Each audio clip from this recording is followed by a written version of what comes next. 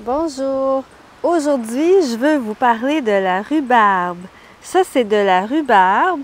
C'est une plante euh, qui est intéressante parce que ça peut être considéré comme un légume ou comme un fruit. Euh, ça dépend.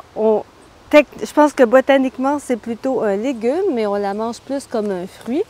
Donc, la partie qu'on mange, c'est les cotons, cette partie, les tiges qu'on peut appeler des cotons au Canada. Donc, vous voyez, les, les cotons sont un peu rose-rouge.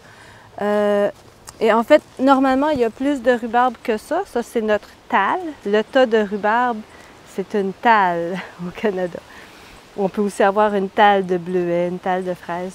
Donc ça, c'est la talle de rhubarbe de ma grand-mère. Donc c'est ici, ça pousse tout seul depuis toujours. Quand j'étais petite, on venait euh, l'été, moi et mes cousins, on arrachait une tige de rhubarbe, on enlevait la feuille parce que la feuille c'est toxique, il ne faut pas la manger. Et on mangeait nos bâtons de rhubarbe, mais en fait c'était très sûr, c'est surette, c'est acide. Euh, donc on allait demander à ma grand-mère un petit plat de sucre pour tremper le bâton de rhubarbe dedans pour que ce soit meilleur au goût, moins acide.